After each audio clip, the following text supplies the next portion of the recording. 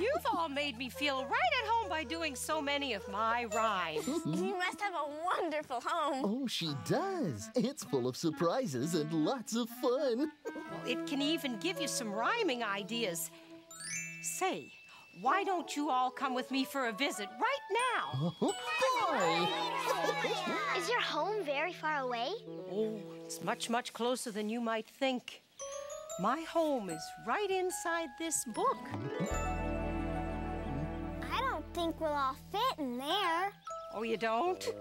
hmm, well, might be a little bit tight. Uh, what do you think, Barney? Oh, I think we'll all fit just fine if we use our imaginations. We can do that.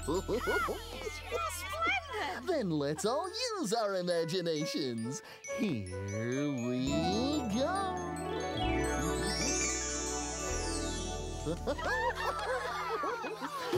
I, I told you it tickles to travel this way. It does.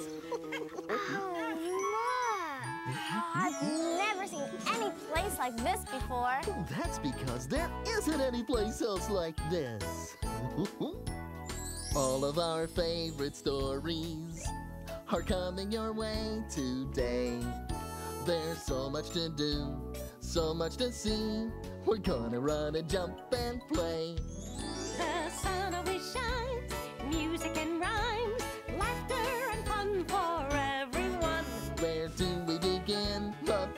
Never ends in the land of Mother Goose. We'll visit old Humpty Dumpty and all of the king's men too. Little Bo Peep has lost her sheep. Mother Goose knows what to do. The sun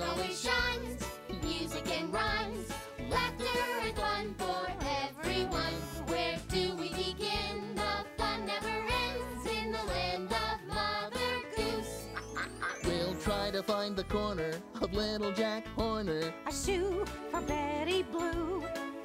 Then climb up the hill with Jack and Jill and tumble to the bottom too. The sun always shines, music and rhymes, laughter and fun for everyone. Where do we begin? The fun never ends in the land of